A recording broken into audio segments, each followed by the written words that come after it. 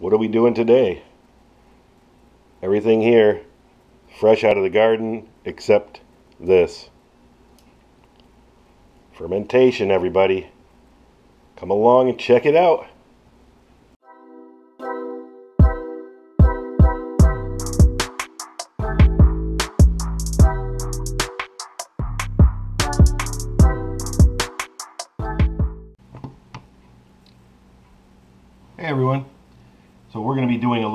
Fermentation.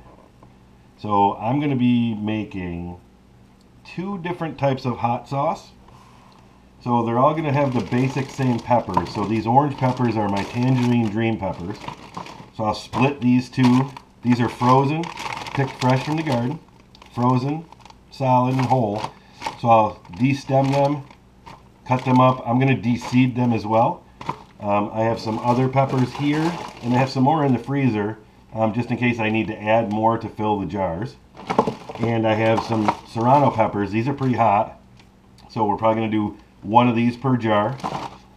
This is going to be an onion, ginger, one of them is going to be mango, and the other one is going to be an orange.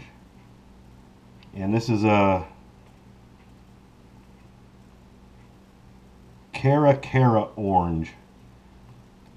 So it's a, it's a special kind of orange. It's a, I think it's like pinkish inside, but we'll see. And I have uh, garden fresh carrots that I have to clean. I'm going to use some of these in the hot sauce, and then I'm going to be doing a third one of garlic and ginger carrots. I actually got the MasonTop fermentation kit, and it comes with a book right here. And we are going to be doing the gingered carrots. Sorry for the haze um, from the light. I don't know why the uh, the fluorescent, well these are LED, but they always leave a haze there. But So I'm going to prep this stuff. I'm not going to have you watch me peel carrots and peppers, but uh, I'm going to get everything ready and then I'll show you what I'm going to do. All right, we'll be back.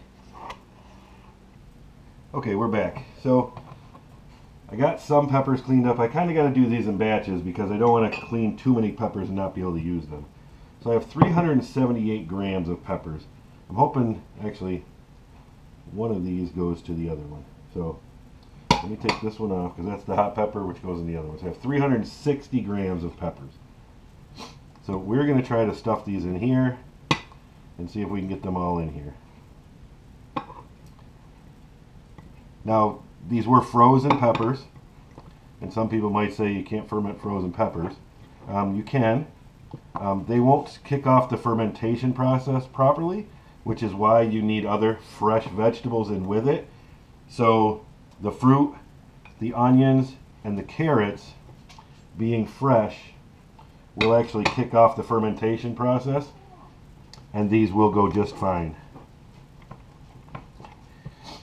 and I'm going to jam these things right in there. I'm sure I missed a few seeds, but basically I just I took everything, snipped them all out. I actually saved some seeds um, from those and from the hot peppers here. Um, those are the serrano peppers. So if I get enough seeds, if somebody wants seeds, maybe I can uh, send you some seeds. The reason I did frozen is because I wanted these peppers. And I had to freeze them because I grew them in the summer and they wouldn't have been any good right now. These are my Tangerine Dream peppers. And I really wanted to make sauce with these peppers. So that's why I did some research. I reached out to somebody who actually makes hot sauce and sells it. And they told me, yes, you could actually do that with frozen peppers as long as you have some other fresh uh, either vegetables or fruit in order to kick off the fermentation process. So that's in there. I'm going to try to jam it down a little bit more. And it doesn't matter if you squash everything because once it's all done it's going to get ground up anyways.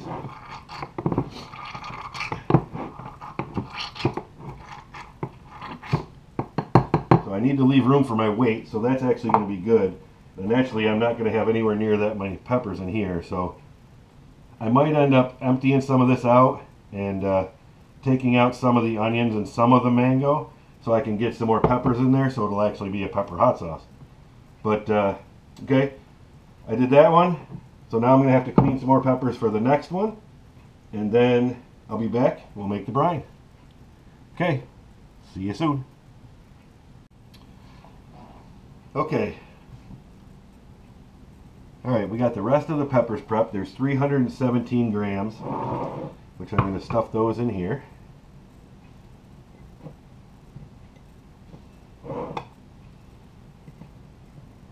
And I saved a whole bunch of seeds. I'll show you the seeds that I saved. There's a seed. Get that out of there.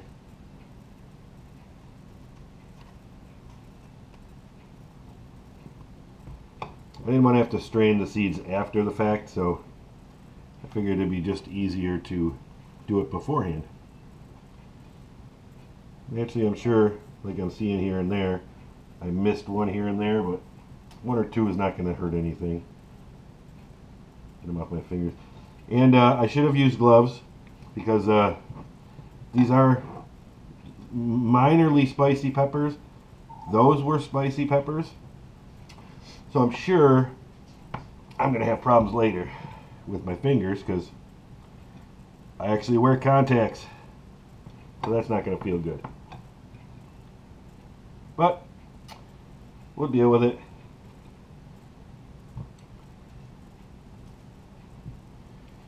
All right, so we got those in there. I'm gonna stomp it down.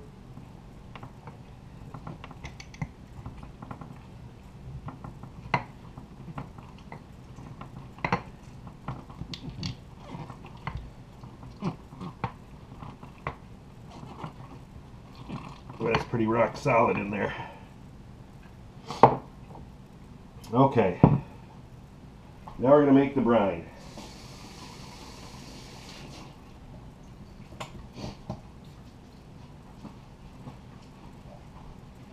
So I don't know how much brine I'm going to need.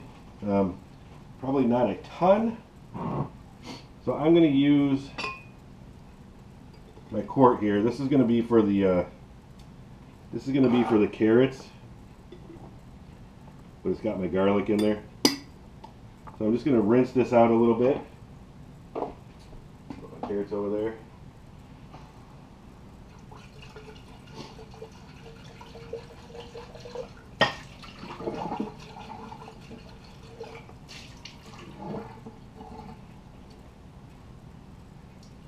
Now you need a three and a half percent salt brine.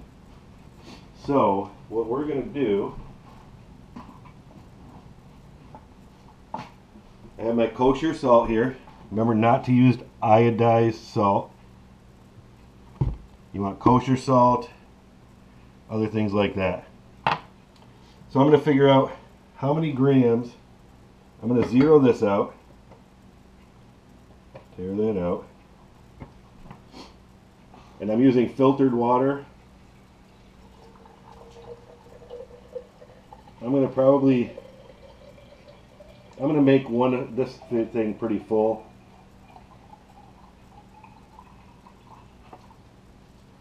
To make sure I have enough.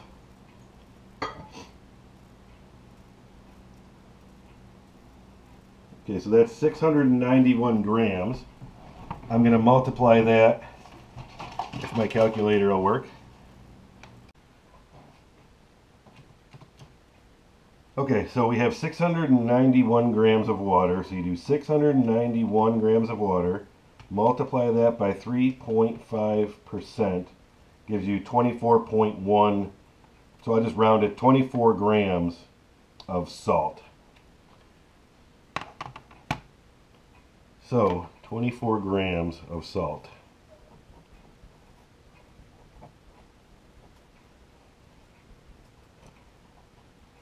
I'll just add that right to the water. So 691 times 24, 5, 715. So I'll just add it till it reaches that.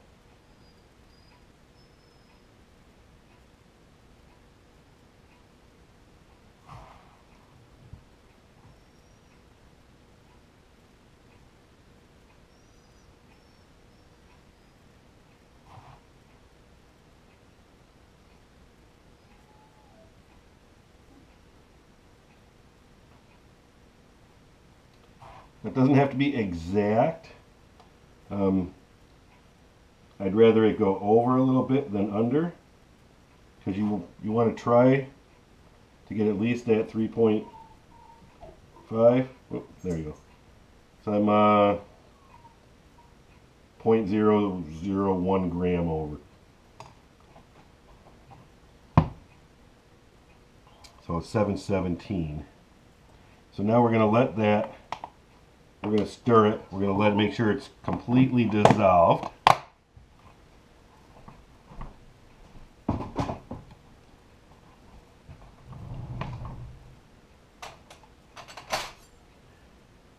We'll get something here that we can stir that with.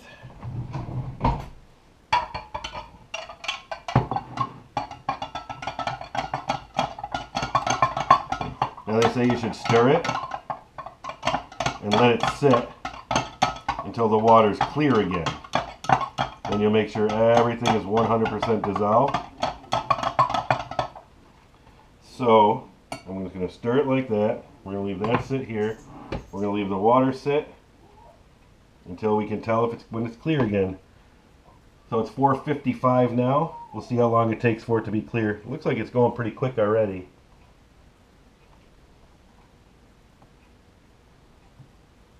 So I'll just cut this part out so you don't have to sit there and watch. I'm not going to stop the video.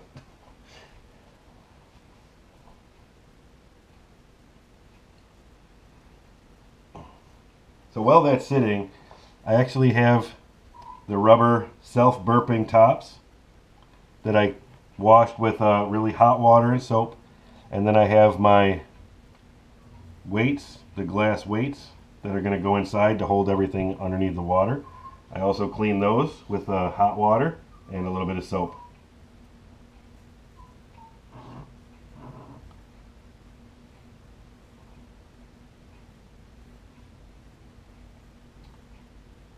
A little bit of cloudiness there. We'll wait. And we'll mix the same brine for the carrots. I didn't do the carrots yet, but once we do the carrots, I'll mix the same brine. Um, and while we're just, uh, I'm sure we have a couple minutes here, I just wanted to show you when I save the seeds, hopefully you're going to be able to see this in the screen. Any seeds that are dark in the center, just in case you don't know, um, those are no good. They won't be viable. Um, a lot of these seeds, they're wet, so as they dry out, they might also turn dark in the center, which means they're no good. But I'm sure I'll have uh, I'll have quite a few seeds here. Um, I don't know if I'll have as many as I was hoping for, but I should have uh, I should have a few. So we'll see how many seeds we have once we're all done. All right, look at that. The brine is clear and there's nothing floating. It looks like the salt is all dissolved. So what we're going to do is fill it up.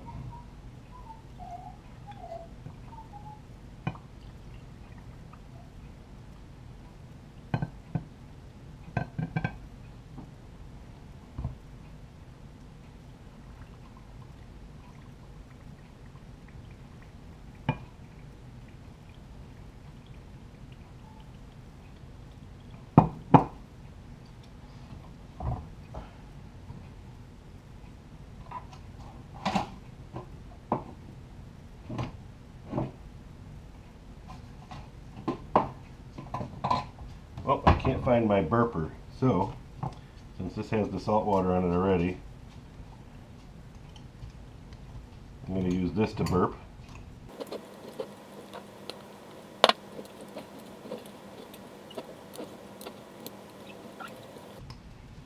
want to make sure there's no air bubbles in there for any, any bad bacteria that can hide.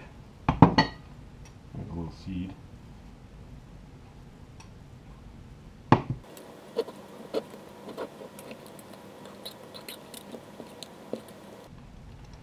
Lots of air in there.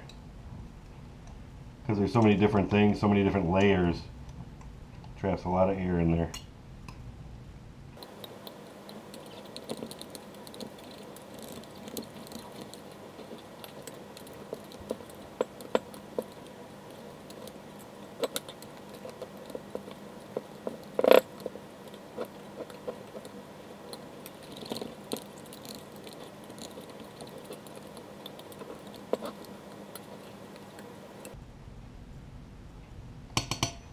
Okay, I think I got it all out. Tilt it up a little bit.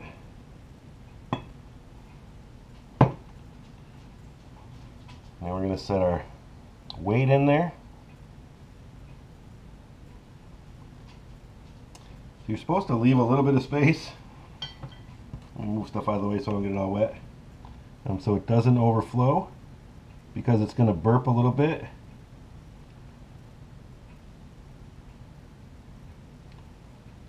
I'm displacing some of the water.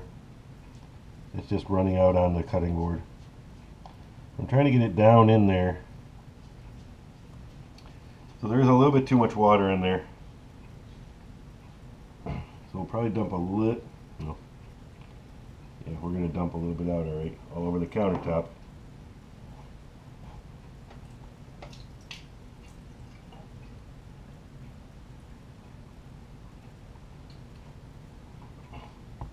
Left like a, maybe a quarter inch headspace in there. Because you want to make sure that stuff stays underneath the water. So we'll see what happens with this one. I don't want to take water out unless I really have to. I'm sure I will, but yep. So that's the same way. So let me bring this over here. Squeeze some of the water out.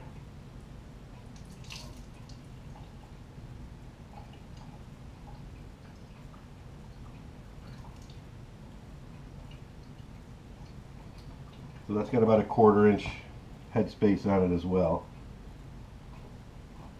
So now I am going to get a clean paper towel, get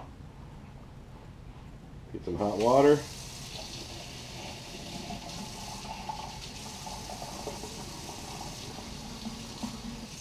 I don't know if it really matters how hot it is because it's not actually creating, I mean it's going to seal, but it's not like a seal to where you do with canning. So you just want to make sure that no air gets in there.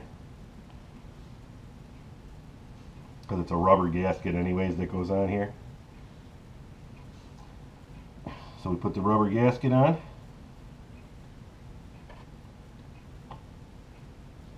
And we put a lid or a, a ring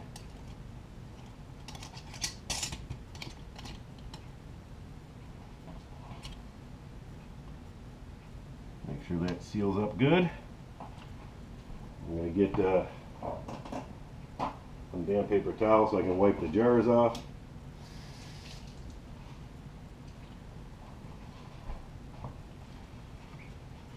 Because I made quite a mess.